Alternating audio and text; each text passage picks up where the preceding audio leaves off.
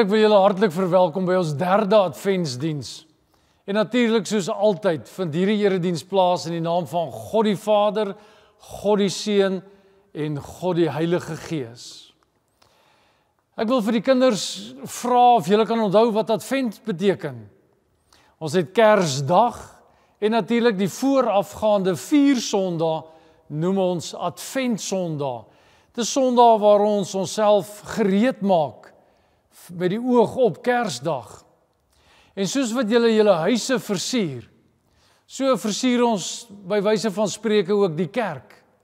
Want by die kerk steek ons verskillende kersse aan en elke kers het 'n simboliese betekenis. Die eerste kers wat ons al reeds aangesteek het twee Sondae gelede, is die kers van hoop. Want Christus is ons hoop. En die tweede kers wat ons aangesteek het, is die kers van vrede.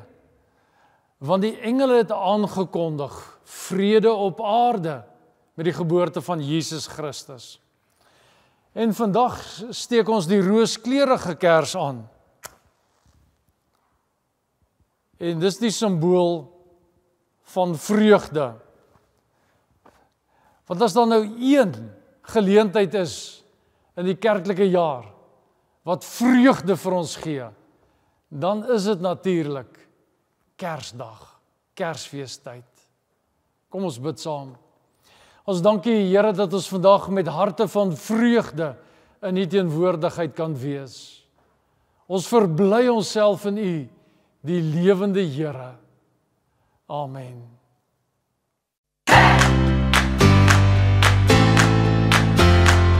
Welkom by Weekliks. Hier is wat jy hierdie week moet weet. Neem kennis dat eredienste tot en met 9 Januarie slegs om 9:00 die oggend plaasvind. Aanlyn eredienste word nog steeds om 8:00 uitgesaai. Ons spesiale eredienste is as volg: Oukersaand om 6:00 die aand, Kersdag by die 7 en half 9 die oggend en Oujaarsdag 6:00 die aand. Hou ons kommunikasiekanale dop vir meer inligting. Neem kennis dat die kerkkantoor sluit op 24 Desember om 10:00 die oggend en heropen weer op 3 Januarie. Dominee Leon en Dominee Dani is beskikbaar vir enige bystand in hierdie tyd. Vir enige maatskaplike noodgevalle, kontak gerus die CMR noodnommer. Kom kniel saam vir Koning Jesus in die krib met die saamsing van Kersliedere op Ou Kersaand 24 Desember. Ons sing saam met die orgelspel tussen 6 en 7 die aand. Kom net soos jy is en kom vier die geboorte van Jesus. Neem kennis dat daar nie 'n digitale uitsending van hierdie diens sal wees nie. Ons Tusanang bediening benodig dringend 'n paar opleiers om in 2022 te help om huishulpe op te lei. Die persoon moet 'n liefde vir naaldwerk hê asook hierdie kennis kan oordra aan ons huishulpe. Die Tusanang bediening is 'n gesellige groep mense en indien jy wil deel word hiervan, kontak gerus vir Hannetjie van Sail. Die jeugbediening benodig jeugwerkers vir die graad 7s van 2022. As jy 'n passie het vir jong mense, dan vra ons jou om deel te word van hierdie jeugspan. Kontak gerus vir Dominee Christian vir meer inligting. Vriende, 2021 was vir baie van ons 'n moeilike jaar gewees. En tog sal ons ook daarvan kan getuig dat dit 'n jaar van genade was. Want die Here Jesus het gesê, "Kyk, ek is met julle al die dae tot die volëinding van die wêreld." En nou is dit Adventstyd, Kersfeestyd. Die Jesus geboorte, Jesus wat se naam Immanuel is, God met ons. En ons as leraarspan en kerkkantoor personeel wil vir julle 'n geseënde tyd toe toewens. Mag dit so wees dat julle hom as Immanuel sal beleef. Julle, julle gesinne, julle families en in julle vriendekringe. Ons wens vir julle 'n Immanuel tyd toe, 'n geseënde tyd. Mag die Here julle ryklik seën in Kersfees 2021. Dit is al vir eers. Geniet die week.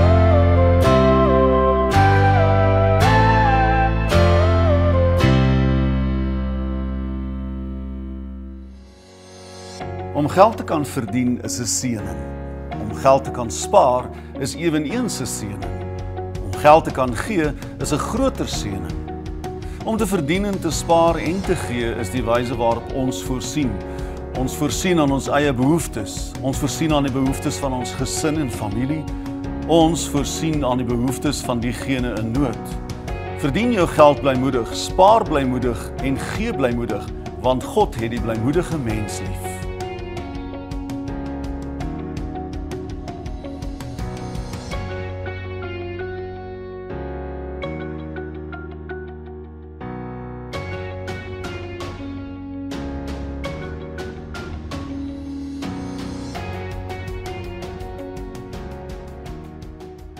Vriende, ek nooi julle hartlik uit om 'n tweespraak saam met my te doen.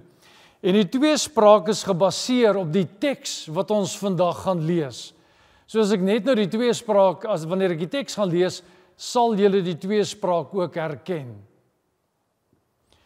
My gedagtes is nie julle gedagtes nie en julle optrede nie soos myne nie, sê die Here. Ons aanbid U as die heilige Here. Heilig ons denke en optrede. Soos die hemel hoër is as die aarde, is my optrede verhewe bo julle optrede en my gedagtes verhewe bo julle gedagtes. Leer ons U gedagtes en U optrede ken en verstaan, Here. Die reën en die sneeu kom uit die hemel uit en dit gaan nie daarheen terug nie, maar dit deurweek die aarde en laat die plante bot en vrugte dra sodat daar saad is om te saai en brood om te eet. Ons eer U as die skepper van hemel en aarde wat ons seën met al U goedheid. So sal die woord wat uit my mond kom ook wees. Dit sal nie onverrigter sake na my toe terugkeer nie, maar dit sal doen wat ek gedoen wil hê en tot stand bring waarvoor ek dit gestuur het. Ons eer U as die een wat alles waar maak en tot vervulling bring.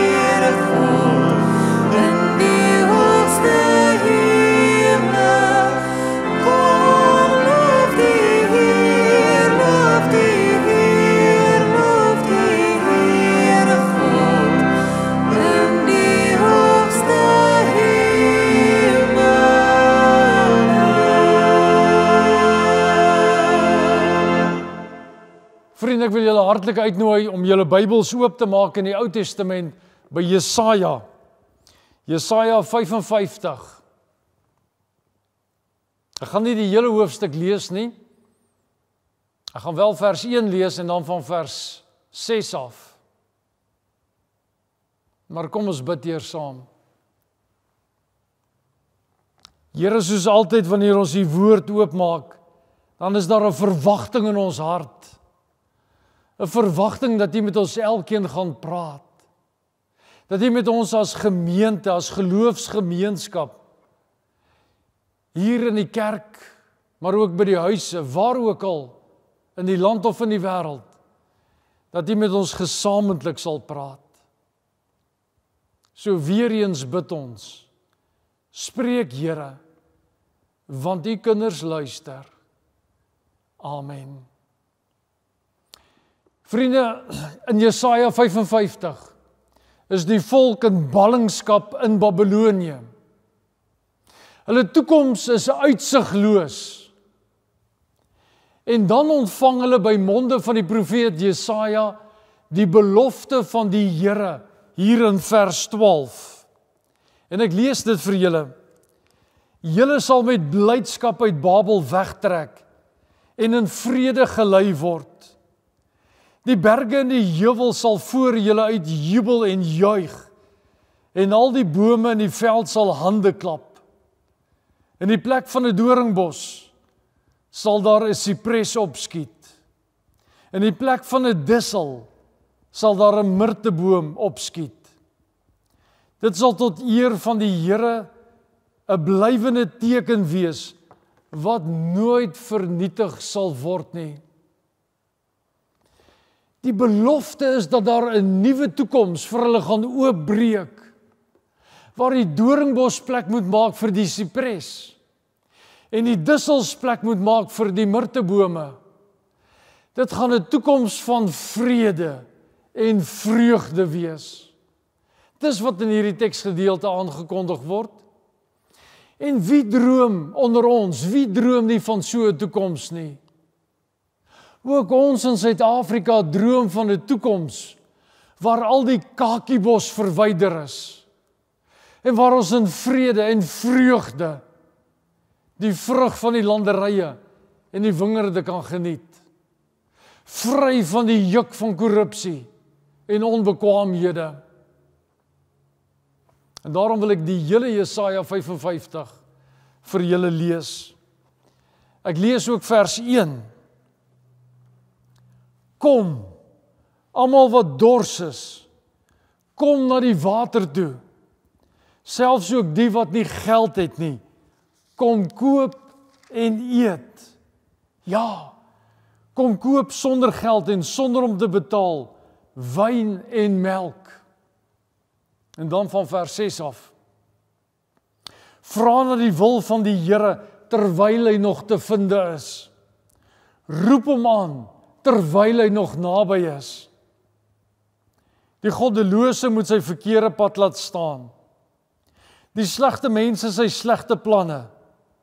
Hy moet hom tot die Here bekeer. Dan sal die Here hom genadig wees. En hy moet hom tot ons God bekeer. Hy vergewe altyd weer. My gedagtes is nie julle gedagtes nie en julle optrede nie soos myne nie, sê die Here. Soos die hemel hoër is as die aarde, so is my optrede verhewe bo julle optrede en my gedagtes bo julle gedagtes. Die reën en die sneeu kom uit die hemel uit. En dit gaan nie daarheen terug nie, maar deurweek die aarde en laat die plante bot en vrugte draai dra sodat daar saad is om te saai en brood om te eet. So sal die woord wat uit my mond kom ook wees. Dit sal nie onvrugter sake na my toe terugkeer nie. Maar dit sal doen wat ek gedoen wil hê en tot stand bring waarvoor ek dit gestuur het. En dan hierdie wonderlike belofte lees ek weer. Julle sal met blydskap uit Babel wegtrek en in vrede gelei word. En die berge en die heuwels, met ander woorde die natuur, sal voor julle uit jubel en juig. En al die bome in die veld sal hande klap. In die plek van 'n doringbos sal daar 'n sipres opskiet. In die plek van 'n dissel sal daar 'n mirteboom opskiet. Dit sal tot eer van die Here wees, 'n blywende teken wat nooit vernietig sal word nie. Vriende, Kersfees is seker die mees universele fees op aarde Wêreldwyd vier mense Kersfees. Al is dit sonder die ware betekenis van hierdie dag. Mense vier Kersfees.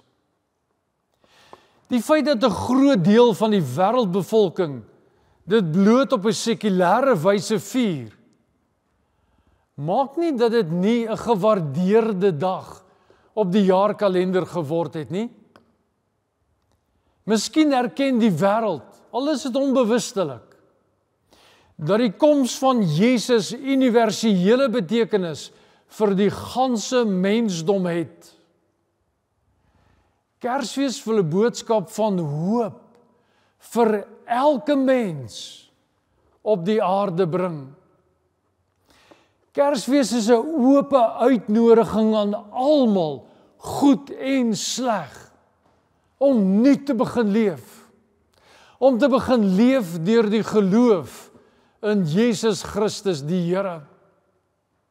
En dis waaroor dit gaan in Jesaja 55. Ten diepste gaan dit in hierdie teks om 'n uitnodiging aan mense in ballingskap. Veral diegene in hulle midde wat die drosters in hulle geloof geword het. Moeilike omstandighede wat gemaak het dat hulle begin dros het in hulle geloof. Maar is juis 'n uitnodiging aan hulle. Mense wat alle hoop laat vaar het dat daar 'n beter en 'n nuwe toekoms ook vir hulle gaan aanbreek. Dis 'n uitnodiging aan mense wat teleurgestel is met hulle omstandighede en selfs teleurgestel is in God.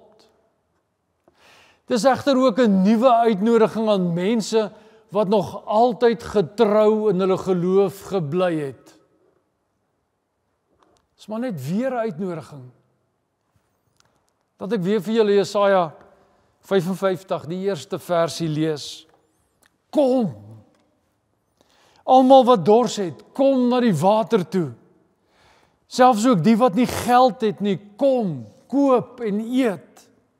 Ja, kom. Koop sonder geld en sonder om te betaal wyn en melk. Jy weet hierdie is vir my een van die heel mooiste teksverse in die ganse Bybel. Dis vir my die vriendelikste die genadevolste teks in die Bybel. 3 maal die woordjie kom. Herhaalde en aanhoudende uitnodiging. Niemand hoef daaraan te twyfel dat hy of sy by God welkom is nie. En dis die Kersboodskap. Dit in diepste is dit waaroor dit in Kersfees gaan. Om God wat voor die ganse wêreld staan en die ganse mensdom in liefde uitnooi om na hom te kom.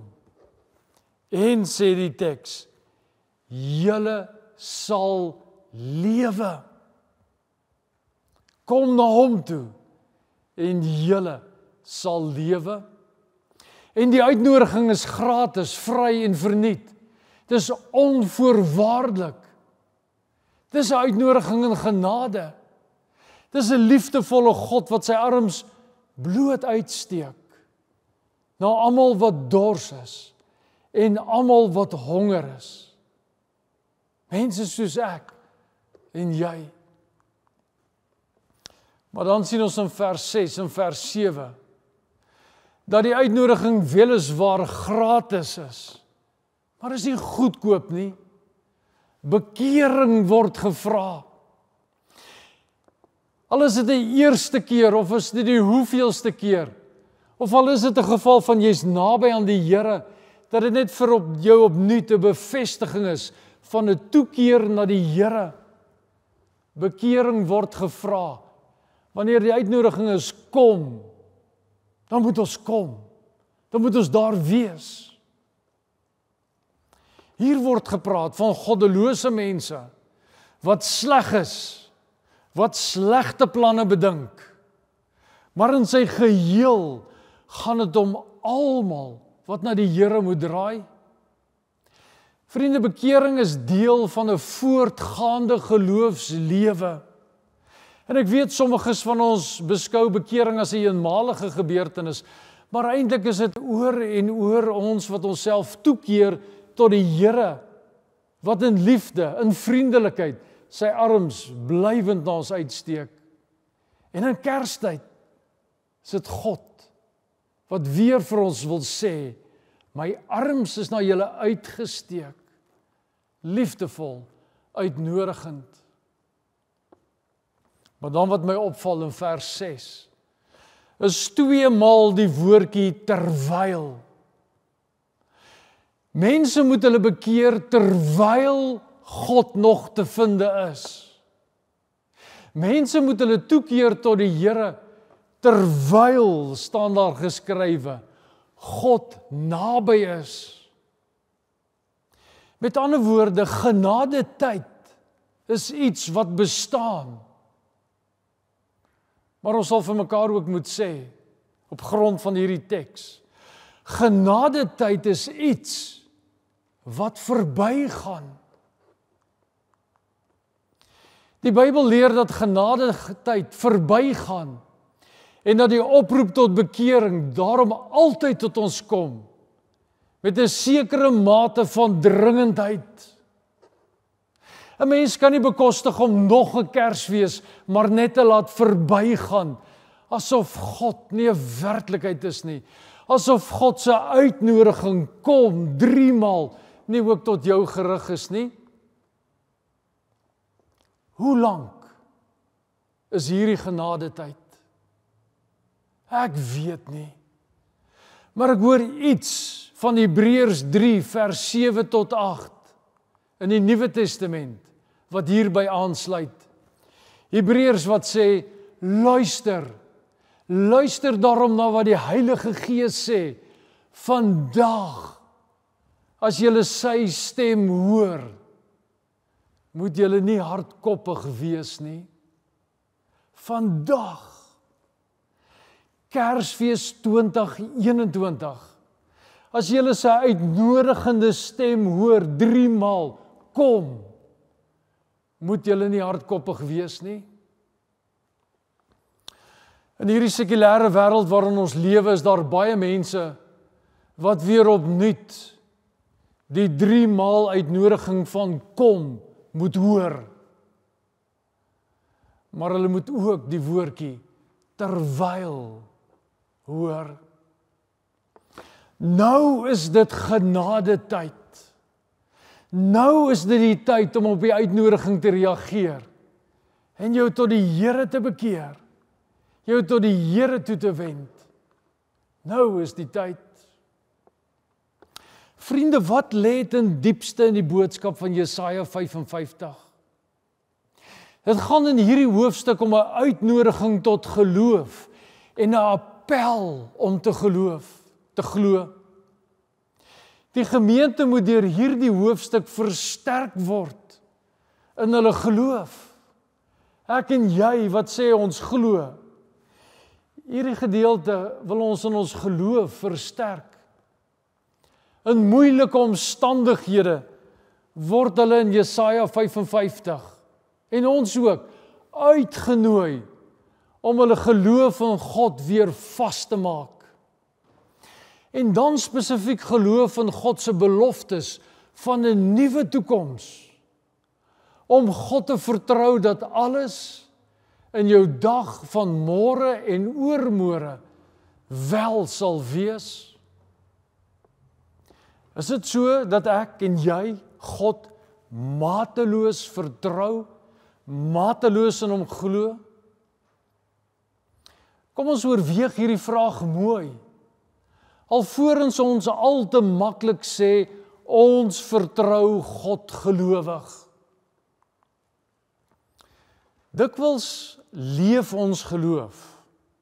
Miskien moet ek ook sê dikwels teer ons geloof op toevallige seëninge en voorspoed wat ons gister en eergister van die Here ontvang het.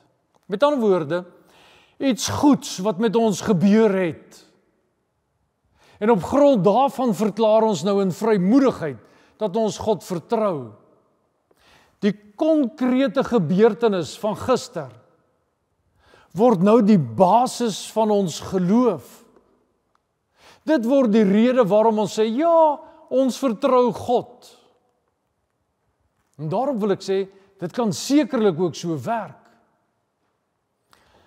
Maar egte geloof lyk vir my is 'n geloof wat in diepste gebore gebaseer is op God se woord en sy beloftes. En nou moet ons mooi luister. Egte geloof is om vas te hou aan God se onvervulde beloftes. Die volk kry die belofte van 'n terugkeer na Jerusalem, maar dit het nog nie gebeur nie. En dit lyk ook nie asof dit gaan gebeur nie. En nou word hulle uitgenooi om gelowig op God te vertrou vir daardie belofte, vir daardie nuwe toekoms. Die belofte het nog nie in vervulling gegaan nie. Maar geloof beteken om vas te hou aan daardie belofte van 'n nuwe toekoms. Kyk. Dis een ding om gelowig te leef vanuit vervulde beloftes.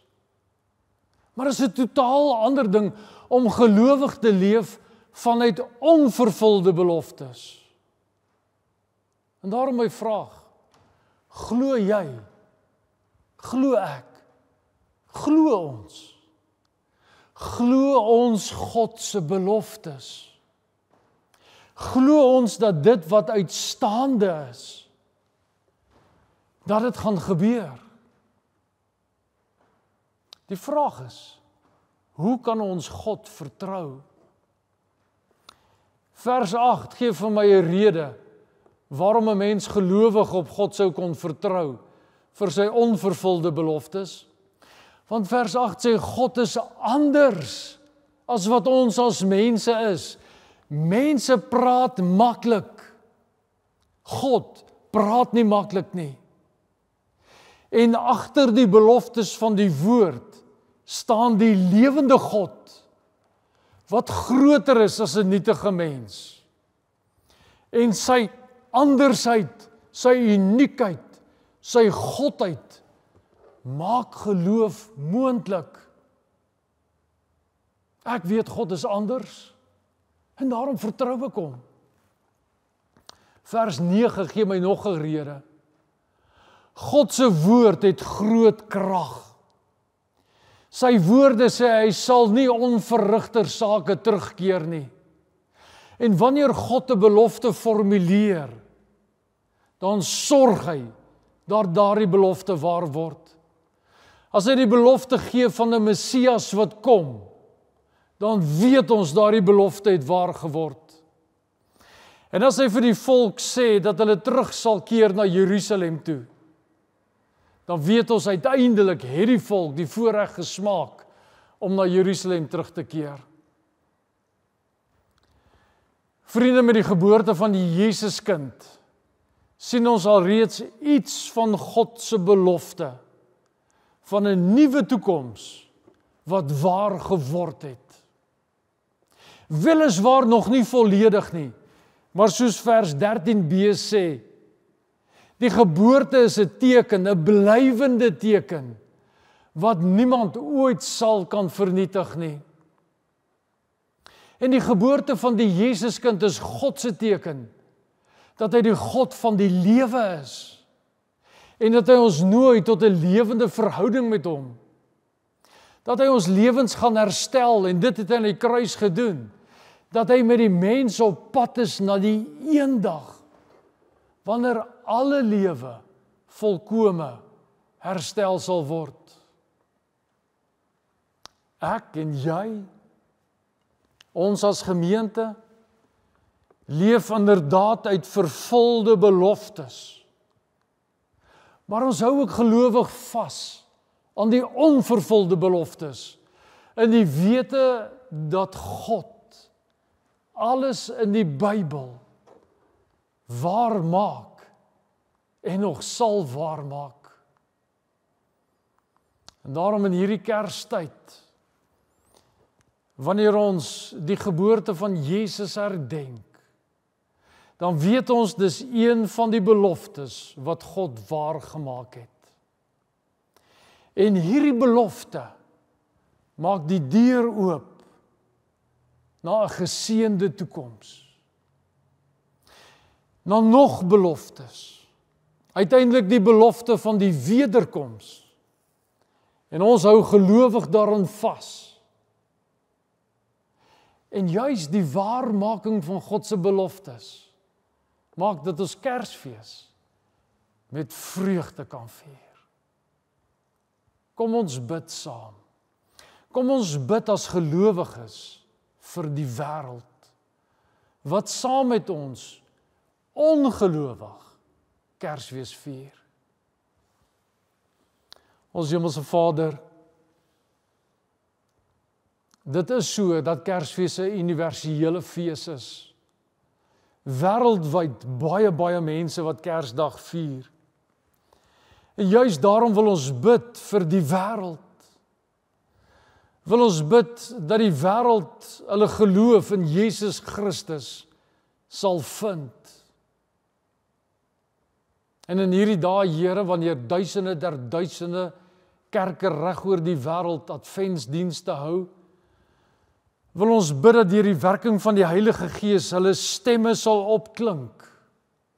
Dat die kersliedere sal opklink en die ruimte van die wêreld sal vul sodat die wêreld sal kan hoor en sal weet Jesus is die vervulling van God se beloftes.